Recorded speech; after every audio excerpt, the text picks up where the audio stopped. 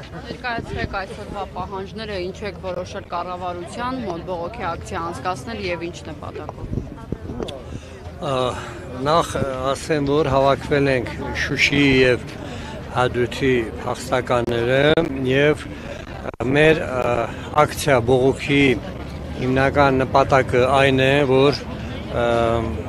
դիմենք Հայաստանի Հանրապետության կառավարությանը որպեսզի նա իր ձայնը բարձրացնի Արցախի հանրապետության խաղ բնակչության պաշտպանելու համար։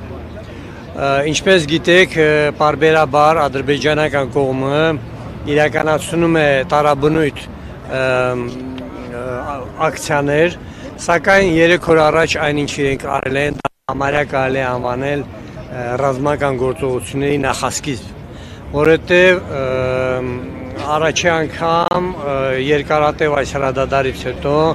աշխատել են ականանետեր։ Մեր ունեցած տվյալների համաձայն 120 մմ-անոց ականանետերով ռմբակոծվել են Խրամորդ, Խնաբադ, Հարուխ եւ Խնուշինա գյուղերը։ Խրամորդ գյուղում առայժմ պաշտոնական նույնիսկ տվյալով մենք ունենք տվյալ, որ խաղ բնակիչը իր այգում աշխատելուց բեկորային վնասվածք է ստացել մեջքի հատվածում, ոչ ճշտված դերևս տվյալներով գիտենք, որ այդ 120 մմ-անոց ականերից մեկը կպել է այդ բնակավայրերից այդ բնակավայրերից մեկի դպրոցի շենքին։ Հլա որ չենք կարողացել ճշտել որ գյուղի մասին, խոսքը գնում։ Այս առումով